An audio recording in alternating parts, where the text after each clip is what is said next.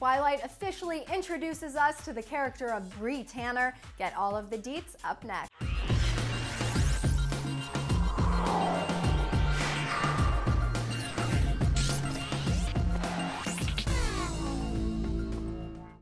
Hi Twilighters, I'm Dana Ward at the Clevver TV headquarters with a little more Eclipse footage. Summit Entertainment just released a featurette talking all about Bree. Straight from the actress who plays her, Jodelle Ferland, we learn an insider's perspective to the character who's just been turned as a newborn vampire. Also, author Stephenie Meyer speaks about Jodelle as Bree, saying she only knows to follow what she's been told in order to have protection.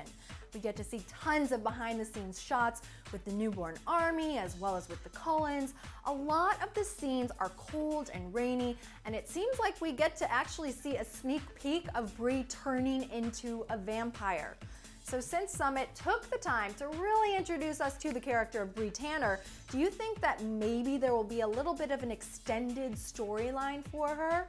A change from the book series, of course. Let us know your thoughts and remember to always come back to Clevver TV, your number one Twilight Saga hookup. Dana Ward here. Thanks for watching the show.